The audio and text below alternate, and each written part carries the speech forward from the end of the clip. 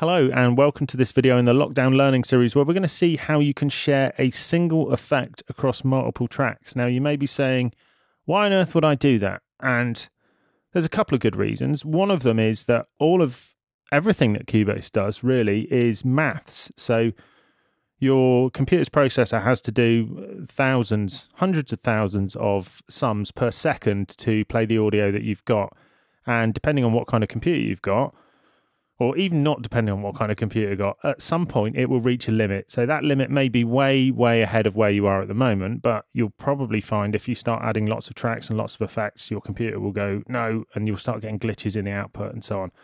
So at that point, you need to cut down on what you're doing. So we'll look at a couple of ways of doing this later on in the series, but this one means you can share an effect between multiple tracks. Now, there's also a good audio mixing stroke engineering reason for this is often we want to put the same effect on multiple tracks. And if you wanted to do that as inserts, as we saw in the last video, let's say you changed your mind about and you wanted to change settings or you wanted to change the whole effect, you would have to go to each track, which if you've got four is a bit of a pain. But if you've got 44 tracks, that's like an hour's work to make a small change, which you're probably not going to do.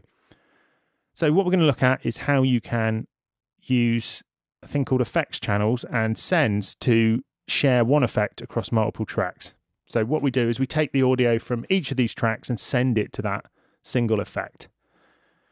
Now, Cubase has made this easier to set up in a number of ways. So there's there's loads of different ways to do this, and I don't want to get too again too into the weeds with this kind of thing. So the way I'm going to look at is if you want to do it to all the tracks, you would select all the tracks you want to do it to. So I'm going to click on the first track. I'm going to hold down the shift key on my keyboard and click on the last track. And you see they're all selected now.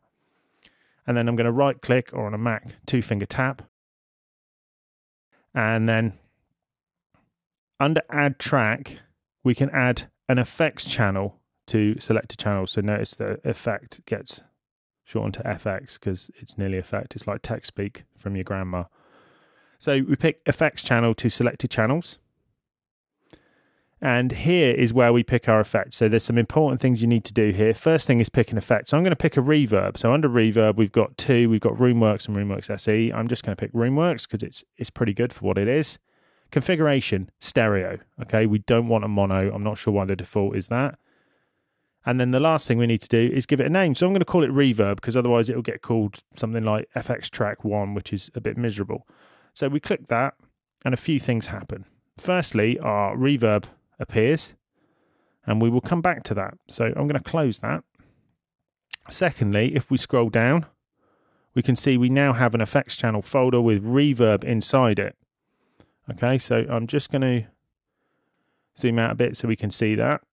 So that's where we find our reverb. So just like on the previous video, if we'd put an insert in on drums, it would be there. On the reverb channel, it says an insert there, and we can see there's our roomwork. So if you want to get back to it, go to the reverb channel, make sure inserts is visible, and then click the E, and then there's our roomworks, which we'll come back to later on. The last thing that Cubase has done for us is on every channel, it's created a send so you can see here in the audio send section and exactly the same in the send destination section here and the channel settings window, it's the same control. We've got an amount that we're sending to the reverb. So here, zero means what comes out is the same as what goes in. So it's just like the peak level we saw in the mixdown video. It's generally measured in negatives, although here we can go positive, which isn't the case with the mixdown if you don't want distortion. So here we can pick how much reverb is being sent, or how much drum is being sent to the reverb. Sorry, I should word that really precisely. So there we would have pretty much none, in fact, none now. And as we go up, we get more and more. So this is about creating a relative balance. So if we wanted more reverb on the drums than we did on the other things, we'd probably just turn down the other things. So I'm going to put that back to zero. You can double click and type in a number if you want to be super precise and maybe we'd want less on the bass, so we could turn that down.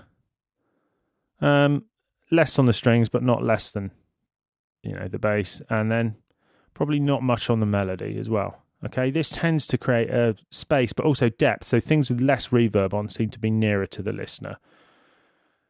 you can also do this in the mixer. So if I open up the mixer, if we click on the sends bar here, you can see there are those. And if you want to adjust relative levels, this is probably the place to do it because then it's easy to see what's going on. The last control we'd need to worry about is how much reverb we're putting in the mix. So we've got this fader here and we'll see that in action in a second. So if I play the song with my crazy mismatched reverb amount, okay, we didn't want it to be in an oil drum. Okay, so there's there's multiple things to juggle here. So in the case of the reverb, I might like the sound of the reverb, but that might just be too much. So if I go back to the mixer and hit play, I can bring that down. It's much more subtle, but we've got the old problem where the bass drum just doesn't sound great. So I'm going to turn the reverb down a bit on the drums and often bassy reverb isn't great.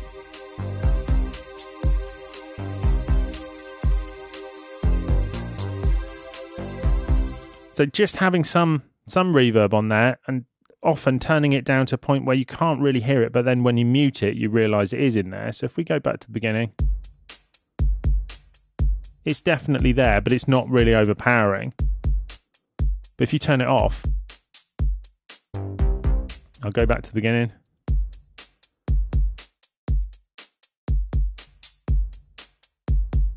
So it's it's it's not really in your face, but when you turn it off, you realize it's not there.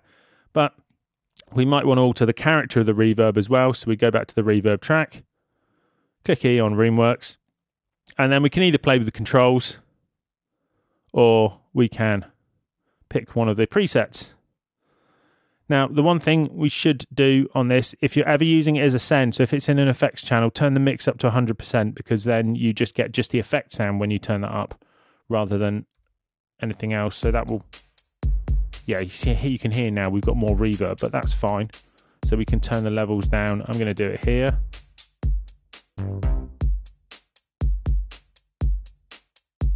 Just going to cycle around that.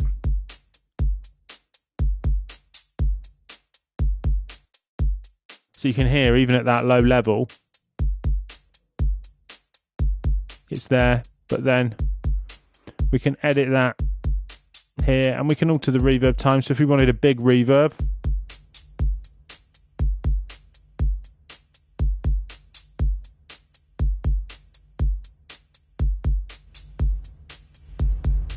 you can hear that massive, great big reverb, etc.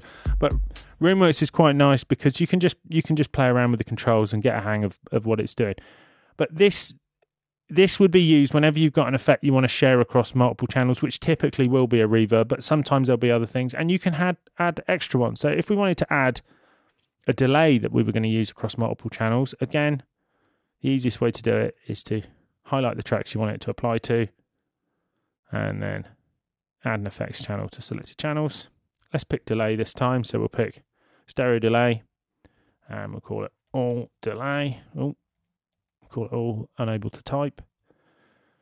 And there's our delay, which is now going to be on everything, which obviously at the moment is going to be crazy because it's going to be really. You can hear that. So that's this delay here playing, and you can see it in the project window playing.